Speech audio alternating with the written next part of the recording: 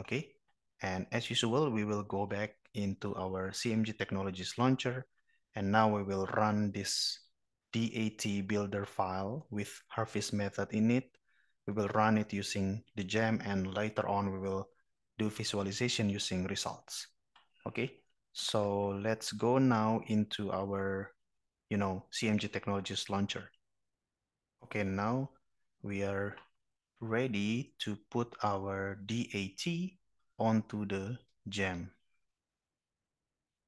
Okay, let's submit the job and let's let gem does the job. We produce new files Okay. Normal, running, local, easy. Okay. And of course, we will later on compare it with the Li-Nghiem's result. Almost there, almost ready. Okay, completed. So we can now check the dot out.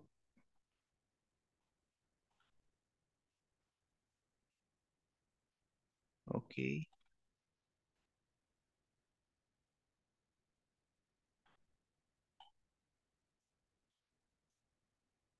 Okay, we can find maybe, uh, yeah.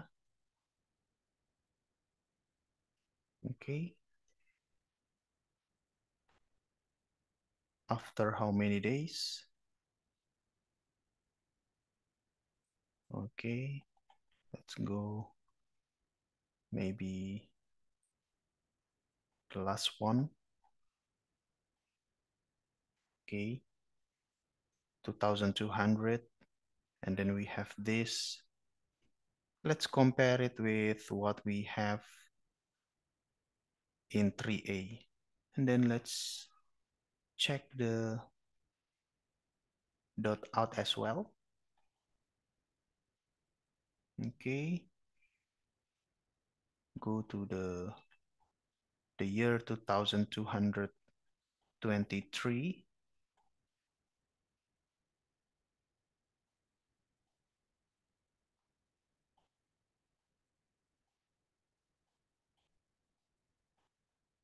Almost there. Almost there. Okay. This is it. Okay, and then let's compare it with 3B.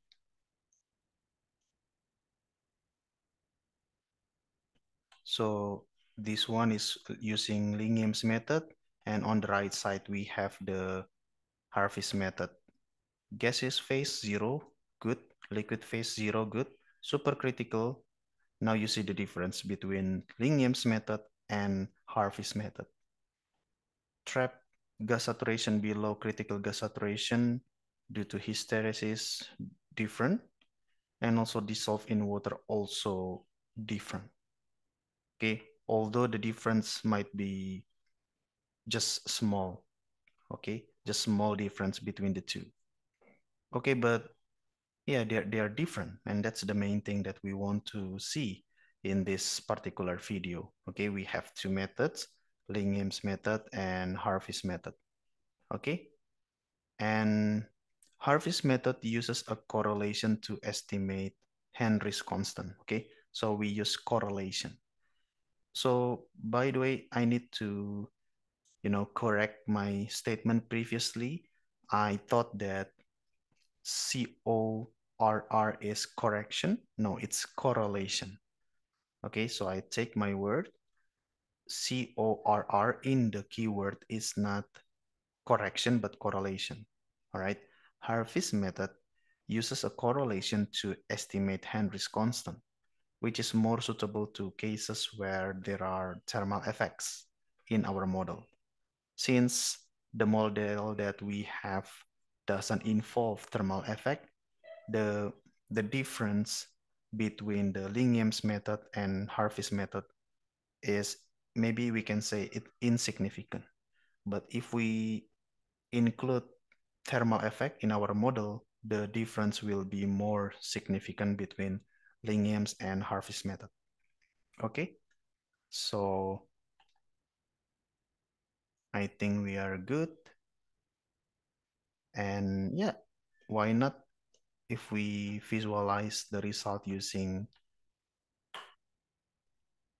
results. I will drag my SR3 onto our results. Okay.